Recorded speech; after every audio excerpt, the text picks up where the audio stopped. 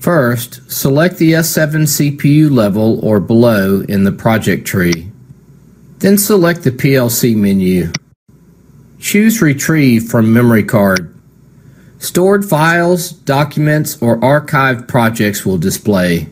In this example, we will select the archive project and click OK. A window pops up for you to choose where to unzip the project to.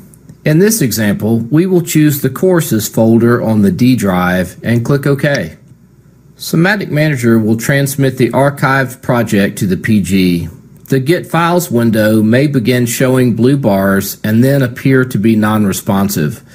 Be patient though, after several minutes the file will unzip and the blue bars may go across all at once. You'll see a message that says data transmission to the programming device PG is finished once the transfer is complete. Close the Get Files window. Simatic Manager then unzips the project archive and opens the folder. This completes a video on how to retrieve an S7 project from a micro memory card.